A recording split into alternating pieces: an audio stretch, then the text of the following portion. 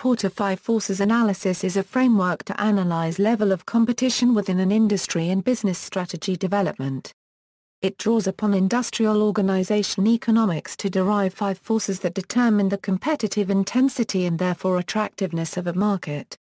Attractiveness in this context refers to the overall industry profitability. An unattractive industry is one in which the combination of these five forces acts to drive down overall profitability.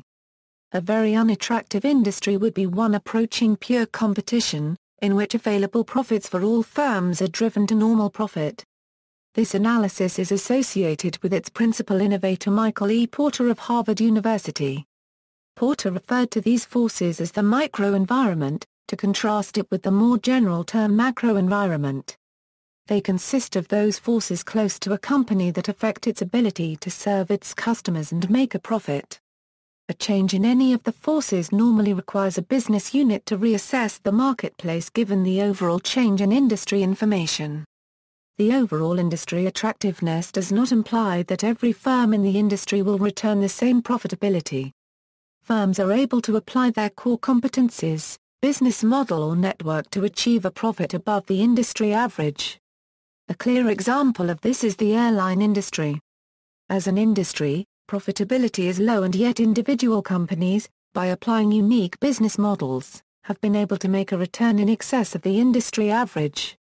Porter's five forces include, three forces from horizontal competition, the threat of substitute products or services, the threat of established rivals, and the threat of new entrants. And two forces from vertical competition, the bargaining power of suppliers and the bargaining power of customers.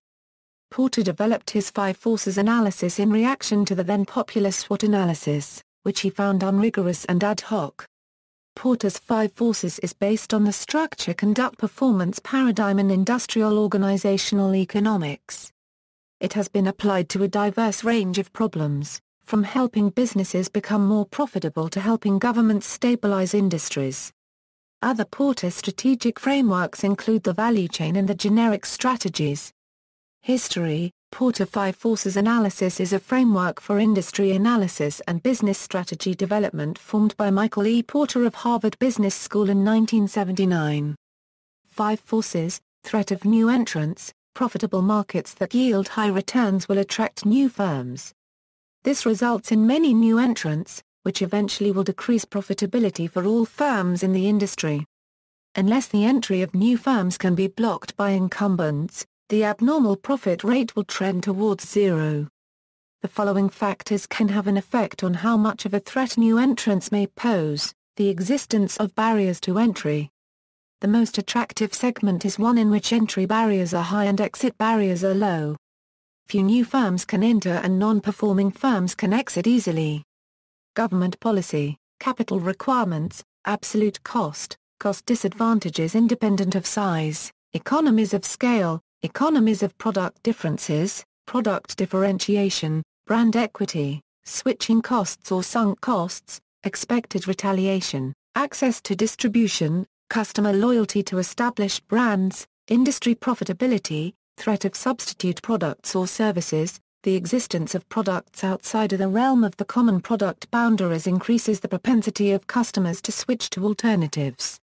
For example, Tap water might be considered a substitute for Coke, whereas Pepsi is a competitor's similar product. Increased marketing for drinking tap water might shrink the pie for both Coke and Pepsi, whereas increased Pepsi advertising would likely grow the pie, albeit while giving Pepsi a larger slice at Coke's expense. Another example is the substitute of traditional phone with VoIP phone. Potential factors, buyer propensity to substitute relative price performance of substitute, buyer switching costs, perceived level of product differentiation, number of substitute products available in the market, ease of substitution, substandard product, quality depreciation, bargaining power of customers. The bargaining power of customers is also described as the market of outputs, the ability of customers to put the firm under pressure, which also affects the customer's sensitivity to price changes firms can take measures to reduce buyer power, such as implementing a loyalty program. The buyer power is high if the buyer has many alternatives. Potential factors, buyer concentration to firm concentration ratio, degree of dependency upon existing channels of distribution, bargaining leverage, particularly in industries with high fixed costs, buyer switching costs relative to firm switching costs, buyer information availability, forced down prices, availability of existing substitute products, buyer price sensitivity, differential advantage of industry products, RFM analysis, the total amount of trading, bargaining power of suppliers. The bargaining power of suppliers is also described as the market of inputs. Suppliers of raw materials, components, labor, and services to the firm can be a source of power over the firm when there are few substitutes. If you are making biscuits and there is only one person who sells flour, you have no alternative but to buy it from them. Suppliers may refuse to work with the firm or charge excessively high prices for unique resources. Potential factors, supplier switching costs relative to firm switching costs, degree of differentiation of inputs, impact of inputs on cost or differentiation, presence of substitute inputs, strength of distribution channel, supplier concentration to firm concentration ratio, employee solidarity, supplier competition, the ability to forward vertically integrate and cut out the buyer.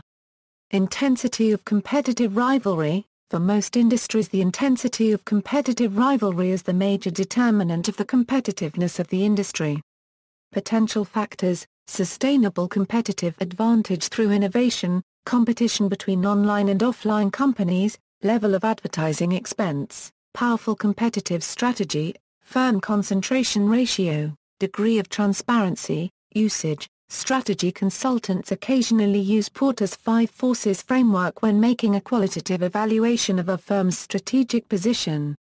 However, for most consultants, the framework is only a starting point or checklist. They might use value chain afterward. Like all general frameworks, an analysis that uses it to the exclusion of specifics about a particular situation is considered nan, they.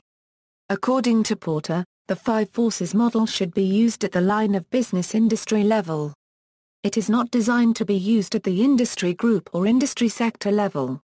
An industry is defined at a lower, more basic level, a market in which similar or closely related products and or services are sold to buyers.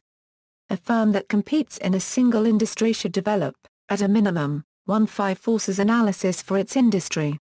Porter makes clear that for diversified companies, the first fundamental issue in corporate strategy is the selection of industries in which the company should compete. And each line of business should develop its own, industry-specific, five forces analysis. The average Global 1000 company competes in approximately 52 industries. Criticisms Porter's framework has been challenged by other academics and strategists such as Stewart Neill. Similarly, the likes of ABC, Kevin P. Coyne, 1, and Somu Subramaniam have stated that three dubious assumptions underlie the five forces, that buyers, competitors, and suppliers are unrelated and do not interact and collude that the source of value is structural advantage. That uncertainty is low, allowing participants in a market to plan for and respond to competitive behavior. An important extension to Porter was found in the work of Adam Brandenburger and Barry Nalebuff of Yale School of Management in the mid-1990s. Using game theory, they added the concept of complementers, helping to explain the reasoning behind strategic alliances. The idea that complementers are the sixth force has often been credited to Andrew Grove, former CEO of Intel Corporation. According to most references, the sixth force is government or the public. Martin Richard Jones, whilst consulting at Groupe Bull, developed an augmented five forces model in Scotland in 1993. It is based on Porter's model and includes government as well as pressure groups as the notional sixth force. This model was the result of work carried out as part of Groupe Bull's Knowledge Asset Management Organization initiative. Porter indirectly rebutted the assertions of other forces, by referring to innovation, government, and complementary products and services as factors that affect the five forces. It is also perhaps not feasible to evaluate the attractiveness of an industry independent of the resources a firm brings to that industry. It is thus argued that this theory be coupled with the resource-based view in order for the firm to develop a much more sound strategy.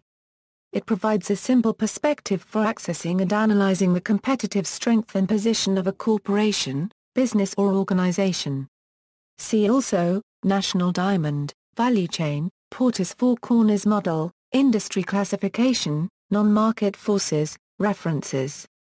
Further reading, Coyne, K.P. and Sujit Balakrishnan, Bringing Discipline to Strategy, The McKinsey Quarterly, Number 4.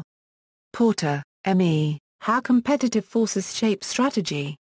Harvard Business Reviewer, Porter, M.E. Competitive Strategy, Free Press, New York, 1980 Porter, M.E.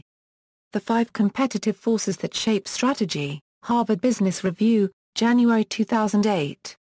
Ireland, Hoskisson, Understanding Business Strategy.